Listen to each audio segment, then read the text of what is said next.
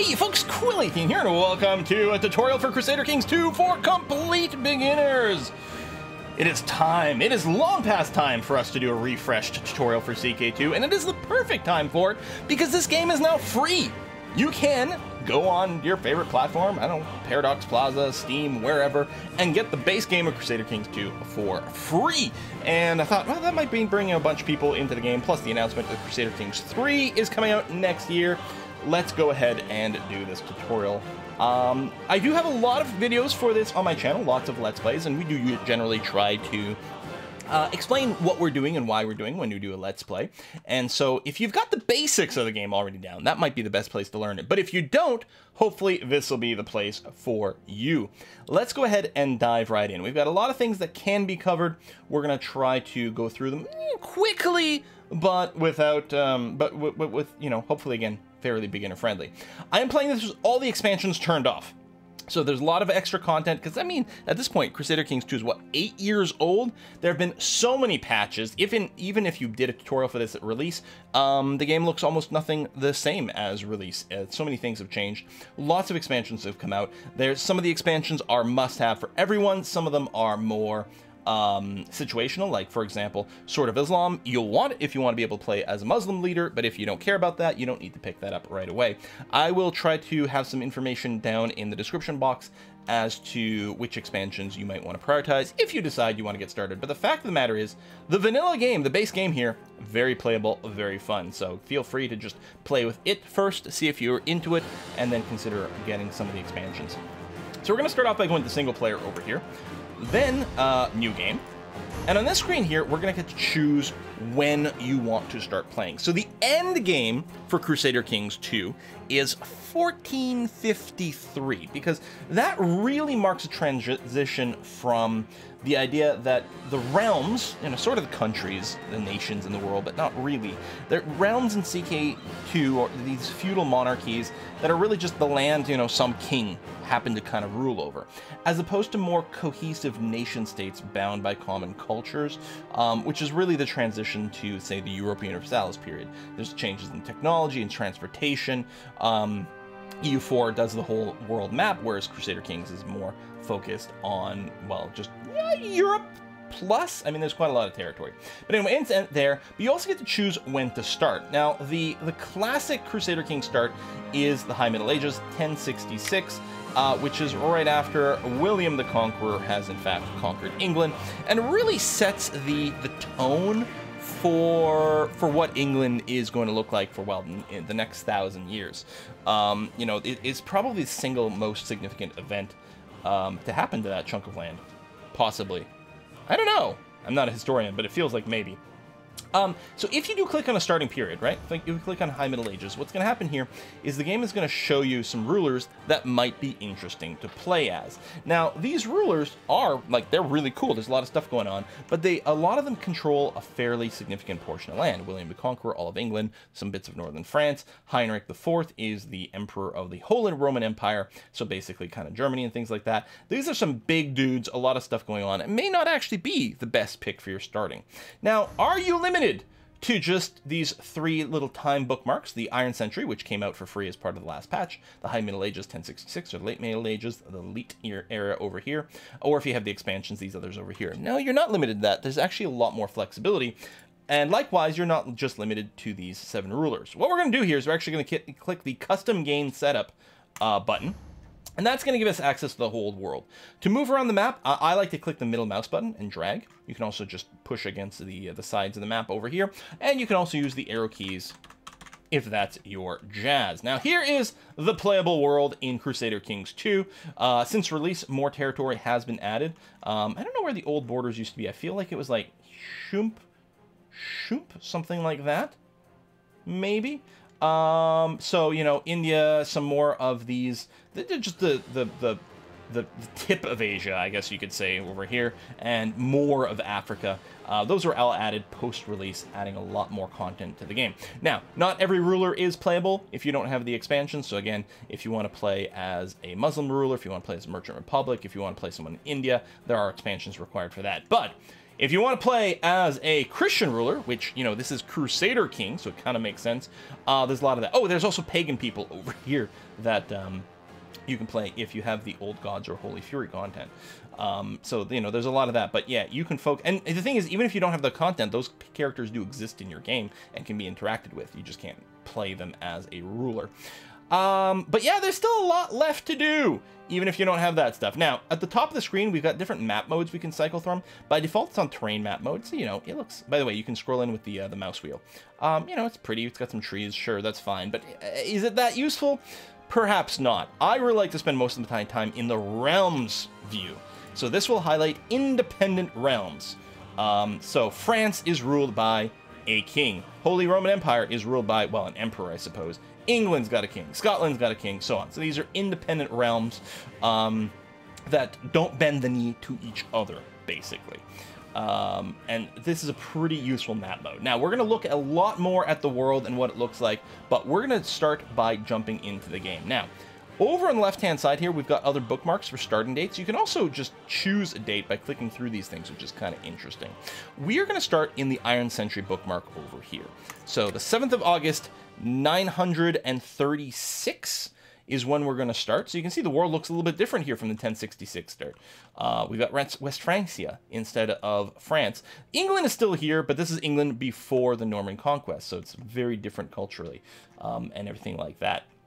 Um, there's more more pagan religions going on. If you actually go to the religious map mode over here, uh, so you know Catholic, Catholic, Slavic, Romuva, Germanic, uh, so we've got some Norse, we've got some different things like that. Lots, I mean, there's tons of religions all over the place um, to play as, and they all play fairly different. But we are going to play in Ireland. Ireland has, since the start of CK2, been considered sort of newbie island. It's a great place to start because, you know, you're a little off on your own you know, a little bit more isolated from the world. You don't have to deal with as many people. Um, your realm is going to be a little bit smaller, so easier to manage. And your neighbors are small, which means, you know, you're on a similar power base or possibly in a better place to take over. And we're going to specifically play in Mumu over here, the independent petty kingdom of Mumu, which is probably not how it's pronounced. Um, just be ready for everything to be mispronounced. Just assume every single word I say is wrong and uh, things will be better. So we're going to play over there. Now, if we click anywhere in here, what's going to happen is it's going to select King Flathbertok. King Fred, King Fred, Fred over here, good old Fred, is the king of Mumu. Now, if you click a second time in some of these provinces, it will actually select someone different. So here we've got Chief uh, Senatig of Tadkur of this place over here. Listen, some areas have easier to pronounce words than others. Ireland can be a little bit rough, but uh, we'll, we'll, make do over here. Um, so just be aware that as you click, what you're selecting, this is who you're going to be playing as. You're not playing as the nation. The idea of a nation of a country didn't really exist then. You're choosing which ruler to play as. You can play as either the king of Mumu, or you can play as one of his subordinates, one of the chief. This chief is the chief of only this county over here and he bends the knee to King Fred. So we're gonna pick, we're gonna play as King Fred over here for the purpose of this. I'm gonna hit play. We're gonna get an, an ability to choose our game rules. Now this can be very intimidating. This, you can scroll here, there's a lot to choose. Over the course of the development of CK2, various expansions come out, lots of new features have been introduced. And right from the start as well, there's some people want to play a game that's more historical and realistic, and some people want to play a game that's a little bit more alt history in certain ways. Um, and then there's also just some pure mechanical rules, like Shattered Retreat, what happens when an army loses a battle, how do they run away from the site. Some people first Shattered Retreat, some people, what does this mean? You don't have to worry about it. There's a button over here that will reset the rules. So if I do that, we're on the default. There's some things you can do, and you can scroll up and down this whole list. You can also go down this little filter here to be able to choose um, specific subcategories to look at instead of the entire list at the same time. But for example, uh, supernatural events over here. Do you want the supernatural events on or off? So do you want like like actual you know things with with spirits or godly intervention or or or demons or Cthulhu or something showing up? You want that to be part of your game? Yes, no. Um, so you can choose whether that's enabled. Gender equality. Do you want it to be sort of default and historical, which may, mostly means bad, or do you want to go and have full gender equality so that you know women can inherit and rule and take office and things like that right from the start? There are on the default setting over here. There are some um, some places where they can do that actually in different laws and things like that. Absurd events on and off. So there's lots of ways to tune this. We're just going to leave the default on over here. The other button that you might be interested here is enabling Iron Man mode. So Iron Man mode is the only way that you can earn achievements. And what Iron Man mode is, you can't manually save the game. The game automatically saves constantly, um, and only in one save slot. So you can't go back. If you make a mistake, you can't go back to an earlier save to try to do something differently. So obviously that makes the game a little bit more challenging, but it can be a lot of fun. And yeah, that gives you um, achievements. I'm going to leave this off for the purpose of my tutorial here. I'm going to go ahead and just hit start game. What we're going to do when the game loads, we are going to get another pop-up here, which is going to tell us about who we are in the world and what that means. Um, basically, depending on your culture, and especially depending on your religion, the game is going to be fairly different. So we get a bit of a description about Crusader Kings 2. Yeah, we don't hold, we can't hold infinite amounts of land ourselves. It's a feudal system. We have to delegate right? We're going to be king, and beneath us are going to be dukes, and beneath them are going to be counts, and beneath them are going to be barons. You've got this whole sort of, I don't know, pyramid scheme going on, basically, to rule your land. I hit next over here. So we're going to be playing as an Irish Catholic king. So, um, because we're Irish, we have access to various things. Um, right now, we're sort of tribal, so there are certain rules that are going to happen over there. We are Catholic, so there's certain rules that are going to happen there as well. So, depending on who you're playing, your combination of technology, culture, and religion is going to have pretty significant impacts on the things you can do and how they work. Don't worry about this for now, though. We're just going to go ahead and close this. Also, if this is your first time playing, tutorials um, there's a tutorial in the game, but we're not doing that. There's, but in addition to that, when you play the game, there's sort of like tutorially hint pop-ups that will come up, especially as you open screens for the first time. Uh, I've got those disabled, but they are worth reading uh, for your first playthrough over here. All right, so here's the map. Same sort of thing as we were looking at before. And again, we can still pan around, zoom in and out. And again, if you want to change the map mode, from the default terrain one to maybe the realms mode, which you might find more handy, that's what you do down at the bottom right. So the bottom right, we've got a mini map, which you can use to sort of poke around the world if you want. And then there's also map modes over here. You might have to shrink and expand this bit here to see what they all are. Uh, and we'll look at more of these um, as we go forward, but I'm just going to switch to the realms button over here so we can see these individual realms and see what the heck is going on. And yeah, again, we're over here in Mumu. Now, again, and this is a it's a tricky concept for people the first time they play. You are not playing as a nation. You are playing as a person, and specifically, you are playing as a dynasty. You're playing as a family. That's really, truly what you're playing as. Because right now, we're playing as King Fred over here, but King Fred's 65. And it's the year 936. King Fred probably doesn't have long left in this world. At some point, he's going to kick the bucket, and we're going to take over as his heir, which in this case is going to be our son, uh, Kusen or Susen. I'm gonna go with hard C's, I think, for Irish over here. Ku Ken, I guess, over here. It's Ken! Hey! We'll have to find him a wife called Barbie. So we got our son, Ken, is going to be our heir. Now, our heir is not always going to be our son. There may be vastly different ways that inheritance can happen. In this case, it is going to be our son that we are going to play as when King Fred dies. This is a perfectly fine and normal fact of Crusader Kings over the hundreds of years of gameplay that you're going to play, you're going to play as a variety of different characters over time. And you might also play as a variety of different realms.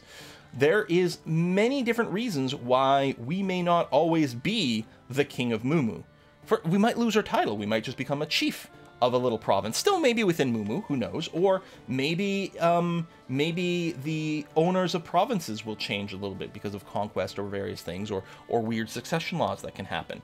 Um, we might also be able to form different nations. If we go and expand our realm some more, uh, we might be able to declare ourselves the king of Ireland, as opposed to just the king of Mumu.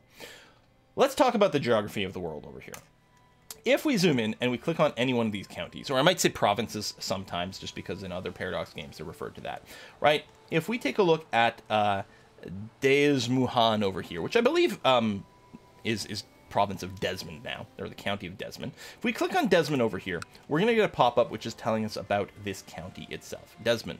Now, inside of Desmond are a variety of what, what the game here calls holdings. They, you can think of them as, as cities and and castles and different things like that that exist, or baronies. These are smaller subdivisions. So there's the county level, which is on the map, and there's smaller subdivisions of this, which isn't represented on the map, but is instead in this pop-up. So here we have the, the Desmond tribe listed, and we've also got a bishopric of Clone. So this bishopric is a, it's a church that's in our realm, and this is being run by someone else, not by us. Um, if I click on this little shield here, I can find out that it's this guy, Bishop Leger of Clone, is the person running that bishopric, and he he bends the knee to me. He bends to me the knee to me, and you have to remember this is a giant pyramid scheme. So you've got these sort of baron level dudes who bend the knee to the person who runs the county, who bends the knee to the person who runs the duchy, who bends the knee to the person who runs the kingdom, who potentially bends the knee to the person who runs the empire, which could be a whole other level above that. Now, we, if I click on us, so this is us in the top left corner, King Fred, if we click on us, we can see what our titles are over here. Our lowest title that we've got is the Chiefdom of Desmond. We are the chief of this county. We run this county directly. Okay, Desmond is ours. This is where we live, and we are directly responsible for building things and maintaining it and all that kind of stuff. We also get the taxes from it directly. In addition to that, we also have the title. It says Petty Kingdom of Mumu. What this is, this is a duchy level title. So basically, we are we are sort of a duke, right? Next in this level up, you've got baron, then count, then duke. In Irish culture, instead of being called count, it's called the chiefdom. Uh, I think in Scottish culture, instead of being called count, it's called an earl, but it's a count level title. So we are the Count of Desmond or the Chief of Desmond. Um, above that, we have a Duke level title. Now, because there's no king above us, because we're an independent duchy, it's the game calls it a petty kingdom over here. So we can call ourselves king, but we're not much of a king because there's not much territory. We would like to become a proper king. We would like to become a king of Ireland as a whole later on, at which point this will be referred to as like the duchy, basically, of, of Mumu. So the Duchy of Mumu with the County of Desmond. Now there's three other counties in here, in the Kingdom of Mumu, but we don't rule those directly. What's the deal? Well, if we click on one of them, so if we look at Locha Lane over here, so Locha Lane is run specifically by this guy, Chief Brandub. Chief Brandub rules, he's the chief of this county. He rules it directly, but he bends the knee to me. If I mouse over his portrait here, it says he's my vassal. And over here, his liege, this is the person he bends the knee to, is me. I'm the boss of him. Now, he's the boss of these people. He's basically a middle manager. Now, he collects the taxes from this directly. Theoretically, you know, he's going to kick some stuff up to me. He's got troops in this territory. If I go to war, he's got to give me some of his troops to go to war with. So, you know, he's he's forced to do that. In return, in theory, I am protecting him from, you know, other enemies outside the realm, that kind of jazz. I want to keep him happy. I would like to keep all my vassals happy. I, in fact, have three vassals. If I go and click on myself over here, right, this is me. Actually, I've got four vassals. Right, that makes sense. And you see I've got tabs here. First of all, there's the, the family tab. We'll look at that soon. If I look at my vassals tab, I can see I have four vassals. I have three chiefs. The chief of here, here, and here. And then I also have this bishop, right? The bishop in the bishopric over here. These are all the people that bend the knee to me. Now, they have an opinion of me, and they also are supposed to potentially pay some taxes to me. Turns out, because we are tribal over here, we don't get that kind of mechanic. We are not a proper organized feudal monarchy, so these guys don't kick taxes up to me. The bishop, though, should. He actually earns um, 7.6 uh, gold per month. No, per year. Oh, wait. He earns 21 ducats, 21 gold pieces per year in taxes, and he's kicking 35% of that up to me, which is great. He might not always do that though. He likes me, a 77. He likes the Pope, a 38. If he likes the Pope more than he likes me, he'll actually send this money to Rome instead. So we really want to keep um, over here um, in my good graces because I want those tax dollars so that I can spend money and do cool things with it. Build cool castles or just fund powerful armies so that it can go and expand, expand, expand, my realm. Okay. This concept can be tricky. I've focused on it because it can be tricky for people to sort of grok it and really kind of download this kind of structure in their brain. what else are we going to look at? Let's look at the top right corner real quick here. Here we have our wealth. This is how much money we have to be able to spend to, to build or to maintain armies and so on and so forth. Um, we are currently earning 0.88 ducats per month, and yeah, we have 61 ducats currently in the bank. We then have prestige and piety. These two things will accumulate naturally over time. Um, prestige, we're very fancy, and piety, you know, we we believe in God and we, you know, prayed him and whatnot. And so the more prestigious and the more pious we are, the more some people will like us. The more prestigious we are, everyone will like us a little bit more. And the more pious we are, the more the church type people will like us, which is great. There's also some variety of events and things like that that might allow you to spend prestige or piety to do stuff. So, in a sense, these are sort of currencies, but they also passively do something. Next over here, we've got our domain size. It's not demesne, it, it is pronounced more like domain or domain. Uh, this is how much territory we directly control. And right now, we directly control one, one county. And that's true. The county of Desmond is the only one we directly control. We could control, um, here it says one of five, in the tooltip it says one of six. Most likely it's because um, one of the numbers just changed internally when we loaded the game, and the five here hasn't updated. If I were to unpause, this would probably change to a six basically right away. So the tooltip is um, is most likely the most up to date over here. We can control up to six territory directly, and that's mostly as a result of our stewardship skill. The better our stewardship skill, the more land we can control directly. If we go above this limit, then we just become very ineffectual at managing all of our territory, and we're going to get less tax dollars and things like that. So generally speaking, if you go above your domain size, what you want to do is you want to assign some of these counties to a count to take care of, or a local chief. He'll take care of it, um, but he'll still bend the knee to you, and that tends to be the structure that you end up with. We've also got a limit, a, a vassal limit over here. This is how many people we can have directly bend the knee to us. This does not, this limit doesn't come up as often. The domain limit, yes, this one not so much. And over here, we've got a realm size, just generally speaking, how big we are, how impressive we are. Doesn't really do anything directly. And over here, we got a score. Basically, every time we die, um, the prestige and piety that we've accumulated gets added to a score for our dynasty. It doesn't do anything on its own, but or it doesn't do anything at all really, but it feels cool, and uh, therefore that's awesome. We'll have important messages showing up over here. Let's got an outliner over here. I often play with this locked and kept open, so this lets me track all the territory in my domain, um, as well as what my council is doing. But I think I'll just unlock this for now so it can stay hidden at this time.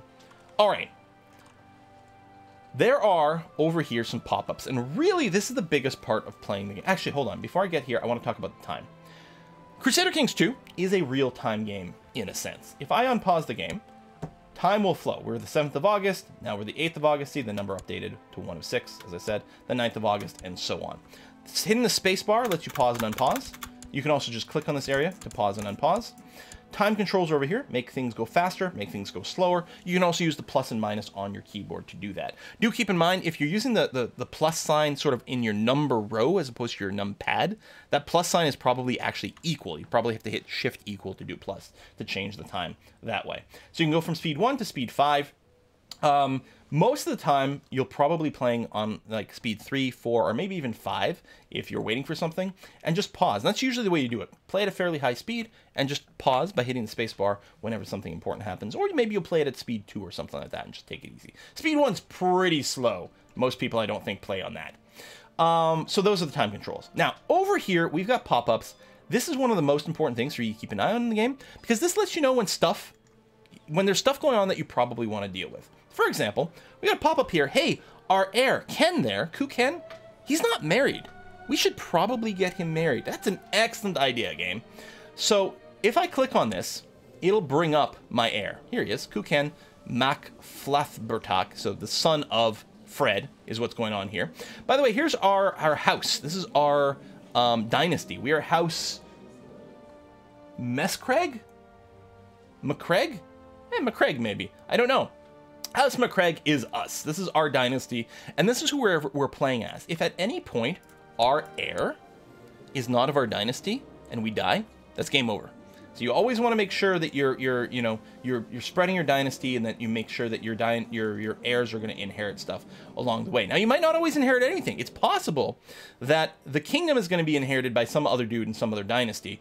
But you know as long as you keep something, as long as you say you inherit your county, then you can keep playing. Um, and don't worry about, there's no winning the game, but wait, there's no victory condition for Crusader Kings. There's no way to win. It's just your personal goals. Maybe your personal goal is to have the Empire of Ireland spread all the way to India and just be this giant green blob. Hey, that's a valid way of playing.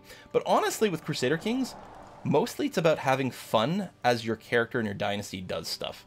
Um, and just enjoy the the fun of the playing as opposed to trying to paint the map because painting the map's not the real joy and magic of Crusader Kings. Anyway, so, yes, we have this unmarried heir. Let's do something about that. So I can click on my face over here to bring up my character sheet. There's my heir over there. I can click on this, or anyone's. I can check out my wife. Hey, there's my wife. Go back to me. Hey, there we go. I can check out my family. I've got three children. I've got the one with the crown. He's my heir. But I've got another son. I've got, uh, I am Chad over here. And I've got a daughter, Lurban. So I can click on any of those. I can check out Chad, see how he's doing. But yeah, let's, uh, let's check out our heir. So this is my heir. Now, every character in Crusader Kings has a variety of stats. They've got diplomacy, martial, stewardship, intrigue, and learning over here. The characters themselves have a stat, and in addition to that, your advisors, your spouse, your various things like that could give you a boost to those statistics. For example, if we look at ourselves over here, um, my personal diplomacy skill, diplomacy skill is 11, but my state diplomacy is 29. 11 for me, plus 7 for my spouse. My wife is helping us out with diplomacy. And my counselors are giving me another plus 11 over there for a total of 29. So surrounding yourself with good people is really helpful. Um, these numbers get modified by things. You can see I have a base diplomacy of 9, but I have plus 3 because I'm charitable and minus 1 because I'm envious. These are the traits over here, character traits. Each character has a huge pool of traits that they could have. Each character will have some sort of education trait, first of all. So I'm a skilled tactician. Everyone's going to have something here for the education. So my wife is a gray eminence, and my heir is an elusive shadow. Ooh. In addition to that, my heir is chaste, which gives him more piety and more of a learning boost, but lowers his fertility because he's not into bumping uglies all that much. He is envious, which is good for his intrigue but hurts his diplomacy, and he's temperate, which gives them the boost to stewardship. Also, the church approves of this. Um, and yeah, people with the same trait, like you, and people with the opposite trait, so Wroth, I think in this case, do not like you because you don't really get along. All right, let's get let's get Kuken married. Now, the easiest way to get someone married is to hit this button over here, arrange marriage. If we click this, it'll bring up a list of everyone who Ken over here is eligible to marry. Now, some of these people will be too young. For example, Cornelia over here is only seven years old. Obviously, they can't get married now. However, what we could do is set up a betrothal so that when Cornelia comes of age, and all characters in Crusader Kings come of age at 16, at which point they can get married. So in Crusader Kings, 16 year old is when you become an adult. Now, historically, some places were like 13 or 14. In some places, these arranged marriages actually happened. People got married to each other when they were like six years old each, and then, you know, just to solidify some alliance or something like that.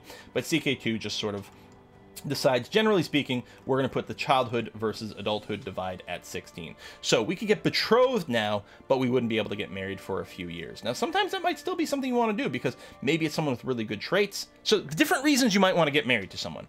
Maybe you need their skill to boost your skills, right? It's like, oh, we're planning to do sneaky, sneaky stuff. We want to marry someone with the highest possible intrigue because my wife's intrigue score will be added to mine, so I can do more stabby, stabby things. Marrying for skill, that's one reason you might marry. Another reason you might marry is to solidify various pacts. So for example, if I married Garsenda over here, this would lead to a non-aggression pact with Duke Raymond Pons of Aquitaine. And these non-aggression pacts can sometimes be um, upgraded to full-on alliances. That's the second reason you might marry someone. The third reason you might marry someone is because they might have claims on titles. Uh, Garsenda over here has a claim on Toulouse. Um, and I might be able to press that claim on her behalf. Or some of these claims can be inherited by their children, depending on a whole variety of things. So you might marry someone because they might set you up with a child that could inherit France or something like that. The fourth reason you might marry someone is because they have good genetics. Now, in this list of traits that people have, some of the traits, hopefully we can find one, will have a heart shape. I might just do a search in a second here. Uh, ooh, we actually didn't find any of those. Okay, what I'm going to do, since I don't see any in this list, I'm going to use the character finder over here, bottom right corner. I'll talk more about this later, but I just want to find someone with a trait so I can give you an example. There you go, genius. So you can do a search here. See how there's this heart-shaped trait? This is a genetic trait. So Samthane over here, the Queen of Mumu. Wait, she my wife? My wife is a genius? Oh, that's amazing. So traits that have hearts can be inherited by children. It's a random chance, it's not guaranteed, but the children I have with Samthane over here, my wife, have a higher than average chance of becoming geniuses. Um, other things are strong. There you go. Someone flexing in a heart over here. Um, attractive. Oh, there's none of them, but attractive. I guess I could go search all. Attractive. There you go. Diplomacy, traction options. Um, there's, is it quick? There you go. Quick, sort of a lesser version of Genius, but it's pretty good. But there's also poor traits. For example, um, uh, ha harelip. Hair lip is a, it's in a heart, which means it's a genetic trait, but it doesn't have a green background, it has a purple background because it's a bad genetic trait. So the fourth and final reason you might choose to marry someone is because they have a genetic trait you like. Notice that love has nothing to do with it. No one married for love. That's crazy talk. Uh, you just marry for practical reasons. So with our heir over here, we have to choose to marry. So again, you can arrange marriage through this icon here, which will quickly and easily find you a list of eligible people. You can also potentially go and use the Find Characters interface over here to find someone you can marry. So again, this little button over here is super useful, Find Characters. So let's say we did want to marry a genius. Uh, well, we have to make sure she's uh, she got to be Catholic. I mean, my parents would never approve, right? It's something something one true religion, where the one true religion is whatever your character happens to follow in this particular situation. Um, we'll obviously want a lady type person who is not currently married, and we've struck out. There are no eligible geniuses around, but you can you can sort of shop like this, and this will potentially let you find people that might not be in this list because maybe you have to pay some bribes to you know the the, the sort of king because they kind of have final say for some of these things. Anyway, um, Princess of Germany. Hedwig has claims to all of Germany.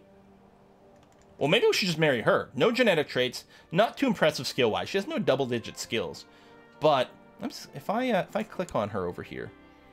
So she's got a weak claim on the Kingdom of Germany. Uh, on succession, weak claims can be are given to children. We're not second or third in line. So her first child will theoretically inherit this weak claim on the Kingdom of Germany.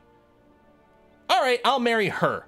So what I'm going to do is I'm going to right click over here and it's going to open up this little window of, hey. So me, I'm Fred. I'm talking to Count Thankmar and I was saying, hey, let's arrange a marriage between my son Kuken and I don't know if it's your daughter or not. But this this Princess Hedwig, let's arrange this marriage. There's this matrilineal button um, over here. Now, normally in a marriage, the children of a marriage are of the dynasty of the father, right? They get the father's last name. With a matrilineal marriage, they will instead be of the dynasty of the mother. They will get the mother's last name. Um, so when you're marrying your sons to someone, generally speaking, you don't want that on. When you're marrying your daughters to someone, you may or may not want to do matrilineal. Um, it is a lot harder to convince people to do a matrilineal marriage, but maybe it's really important that the children of your daughter are part of your dynasty because, you know, maybe maybe your daughter is going to be your heir because of, of various succession laws, could be. So you may want to keep an eye on that. Anyway, we're going to say that. I'm going to unpause. To boost the speed up to about a 3. I'm just going to wait for that to resolve itself because it takes a while for the messengers to get back and forth. Got to go all the way to Germany. There you go. To the level-headed king. Ooh, I'm level-headed. Uh, you get all kinds of different commentary about yourself here. To the level-headed king, Fred. Blessings upon you and your house. I accept your suggestions that Kuken and Princess Hedwig get married. So I'm going to say okay here. I'm going to keep it paused. You see that Hedwig Ludofinger has arrived in my court. She's come all the way over here to the kingdom, uh, the petty kingdom of Mumu, to be with her husband, who is my son and heir. All right, and it'll be interesting to see if they pop out some kids. Maybe suddenly we'll find ourselves the king of Mumu and Germany. That's the thing. You don't to, to, to paint the world, to conquer the world, you don't necessarily have to actually conquer it with military. You can conquer it with love. And by love, I mean having exactly the right kind of sex to make exactly the right kind of heirs to inherit things. And maybe also assassinating people who are ahead of you in the line of succession, because that can be really handy. anyway, so there we go. We've taken care of one of these little pop-ups. Let's take care of these others, and then we'll put a cut in this video at this point. The game is asking us to pick an ambition. So our character wants needs an ambition or doesn't need one but it's better to have an ambition running because there's good things that can happen with ambition. So on your character sheet over here in the top right corner there's a button to choose an ambition. So all characters in the game will tend to pick ambitions on their own. Let's check ken. So ken no he's not running anything right now. I think they can. Actually don't know how that works um, in in vanilla here and for the npcs but anyway for ourselves we can pick an ambition. We click this we'll get a pop-up menu of choosing what our ambition is. We can choose to be a paragon of virtue. So we'll try to, we want our, par, uh, our piety to be 2,000 or higher. We got piety over here, we got a piety of 16. So we would desire to have a piety of over 2,000. And if we do, we get plus one to our learning skill, we gain even more piety, we'd be known as the holy. Um, and, you know, good things would happen to the Catholics and the Pope would like us and all that kind of stuff. We could also choose to be exalted among men which would be in this case to have a prestige of 5,000 or greater. If we successfully do this, we would get diplomacy, gain some more prestige, and a bunch of people would like us because it would be very impressive. We can also choose to improve our learning. Because our learning is so low, we only have a learning of one. I mean, we can barely string two words together, and we can't read probably. Um, we can choose to try to improve this.